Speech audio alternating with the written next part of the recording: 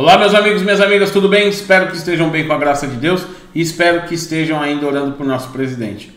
Temos que orar por nosso presidente para que Deus restabeleça a sua saúde o mais rápido possível, tá bem? Para que ele possa estar aí novamente no meio do povão, andando de moto, andando nas ruas, sentindo o calor e o carinho do povo. Então eu convido você a orar comigo aí durante o dia. Estou sempre orando, vou divulgar a hora que eu for orar aí pelo presidente lá no Twitter, então sigam-me no Twitter também, arroba Daniel Barros 38, tá certo? Além disso, temos o canal no Telegram, tá? Canal no Telegram, eu acabei de mandar o documento em PDF lá no canal do Telegram do vídeo que nós vamos falar hoje aqui, o, que vamos fazer, vamos conversar sobre um assunto importantíssimo, um documento importantíssimo que foi divulgado e que pode trazer alguma luz aí sobre os acontecimentos que, tá, que estão ocorrendo aí no mundo, tá certo?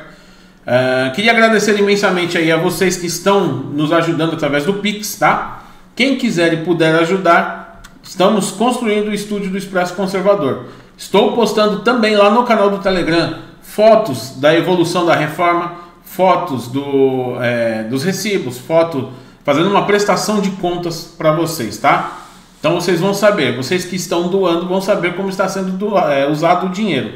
Caso eu arrecade mais do que vai ser gasto no, na reforma, eu vou estar doando esse valor a instituições de caridade aí vocês vão me ajudar né, nessa missão, tá certo? O dinheiro não vai ficar para mim, tá ok?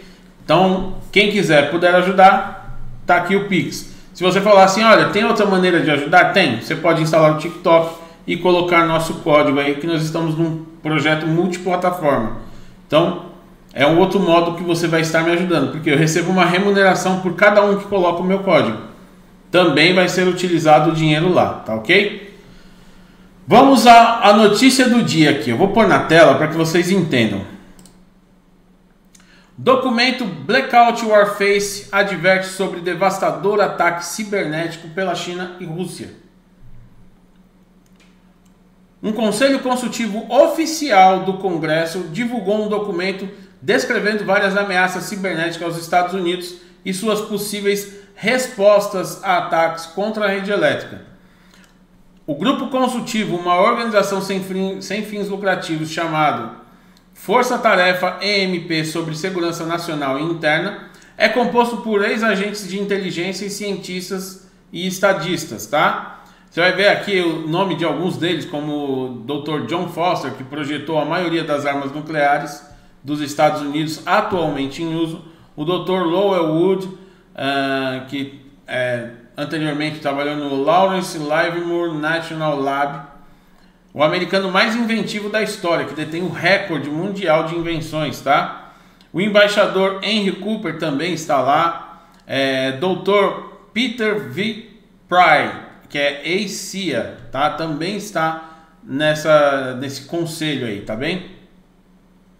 O documento em questão, lançado em 4 de julho de, 4 de, julho de 2021, é denominado Blackout Warface Cyber Attack in Electric Power Grids, a New Strategic Weapon, tá? No memorando, a Força Tarefa MP conclui que os Estados Unidos enfrentam um perigo iminente de um cyberataque devastador contra sua rede de energia elétrica. Agora pensem comigo, nós tivemos aí há pouco tempo um cyberataque a um oleoduto que causou transtornos gravíssimos no, nos Estados Unidos. Imaginem vocês o transtorno que não causaria um cyberataque desse no setor de energia elétrica. Gente, seria algo devastador para o país. Com certeza seria. E eles dizem que estão vulneráveis a esse tipo de ataque, que é iminente esse tipo de ataque. Num momento em que temos aí um, um potencial conflito entre Estados Unidos e China, uma coisa que vem crescendo aí no dia a dia, um documento como esse aqui é chocante.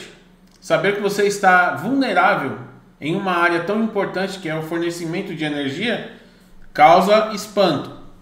A Rússia está mais bem preparada para se defender contra ataques cibernéticos e usar o cyberataque como arma estratégica, afirma o documento, citando Posteriormente, o recente ataque cibernético ao oleoduto colonial. Você clicando aqui, eu vou mandar esse link lá no canal do Telegram, então você vai poder ver a matéria.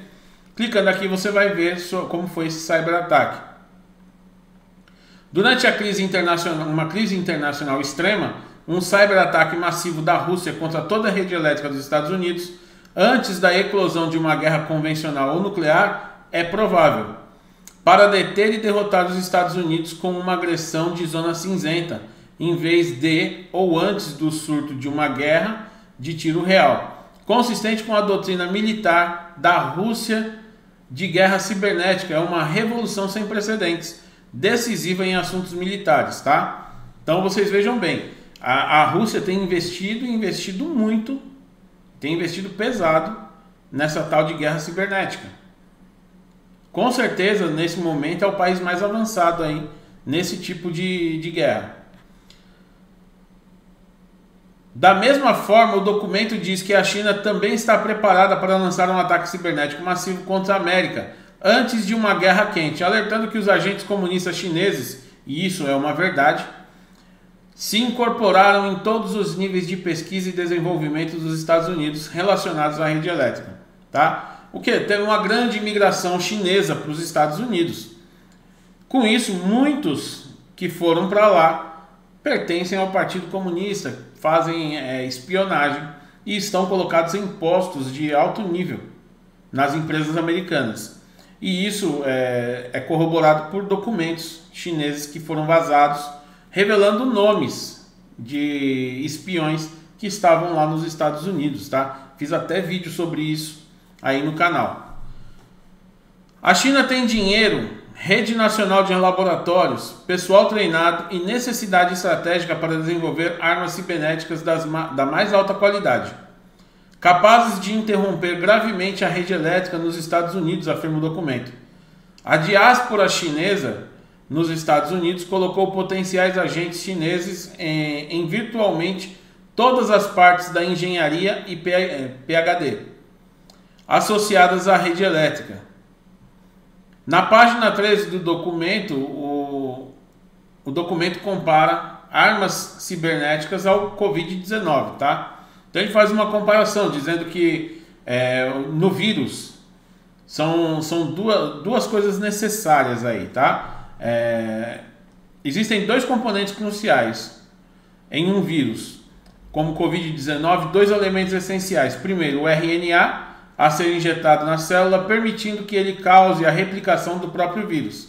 Em segundo lugar, uma via ou vetor deve estar disponível para passar o RNA para a célula-alvo é, qualquer, qualquer malware de arma cibernética também possui dois componentes essenciais, que é a carga útil, tá? E o, o chamado exploit, tá?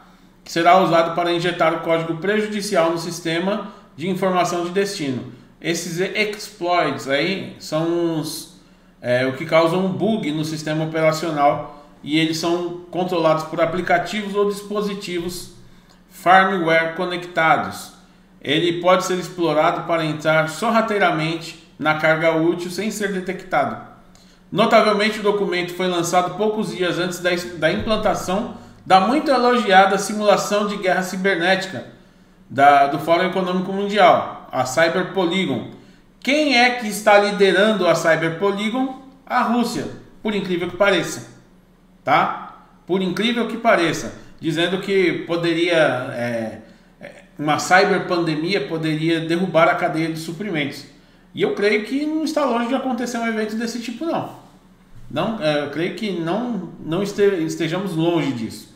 Aí aqui você vai encontrar o documento, tá? Eu já mandei esse documento lá no canal do Telegram. Por isso, se você não está no canal do Telegram, peço a você, entre no canal do Telegram, porque lá tem atualizações. Falamos de coisas que não podem ser ditas em qualquer lugar e lá nós temos total liberdade para falar, tá bem? Então eu peço a vocês, entrem lá. É muito importante, gente, muito importante mesmo. O mundo está vivendo um momento é, onde você tem diversos barris de pólvora, como eu falei no vídeo que saiu de manhã no canal Daniel Barros. É, você tem é, potenciais conflitos no mundo todo hoje. Isso me faz lembrar da, da profecia: ouvireis de guerras e rumores de guerras, mas ainda não será o fim. Você vê é, convulsões acontecendo em Cuba, África do Sul, Colômbia, Argentina, Venezuela, Brasil. Todos os lugares do mundo está havendo potenciais conflitos. Alguns em maior escala, outros em menor escala. Mas está. Guerras e rumores de guerras. Então, é, é algo que faz a gente pensar bastante. O mundo chegou num, num momento aí que está bem perigoso, tá? Então eu peço a você aí, se apegue com Deus e continue lutando pela verdade, tá certo? Um grande abraço, que Deus abençoe a todos.